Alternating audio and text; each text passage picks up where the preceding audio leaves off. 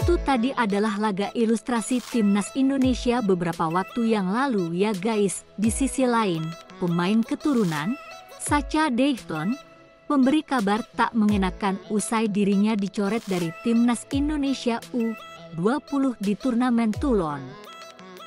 Pemain jebolan The Travers U21 itu mengumumkan pencoretannya tepat sebelum Indra Syafri merilis daftar 26 pemain yang akan membela timnas Indonesia U20 di ajang tersebut.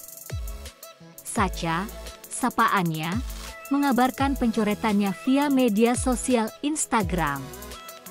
Ia mengunggah alasan yang membuatnya dicoret dan tak bisa tampil di turnamen Toulon.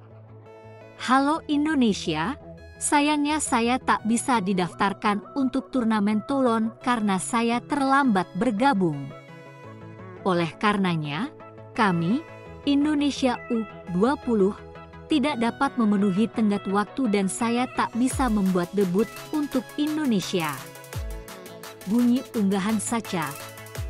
Sebagai informasi, Sacha sendiri baru bergabung saat skuad timnas Indonesia U20 menjalani pemusatan latihan di Como, Italia.